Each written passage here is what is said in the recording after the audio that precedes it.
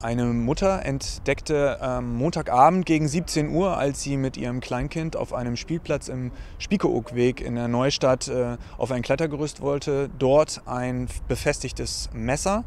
Und äh, dieses Messer war so angebracht, dass es bei Kindern Verletzungen hätte verursachen können.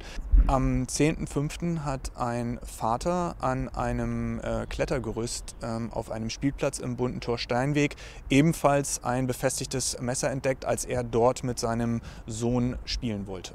Die Polizei nimmt diesen Vorfall ernst und hat umgehend die Ermittlungen wegen versuchter gefährlicher Körperverletzung aufgenommen.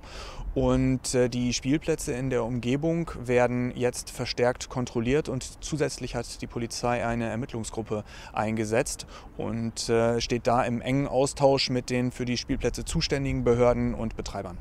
Die Polizei appelliert, aufmerksam zu sein, wenn sie mit ihren Kindern auf Spielplätzen unterwegs sind.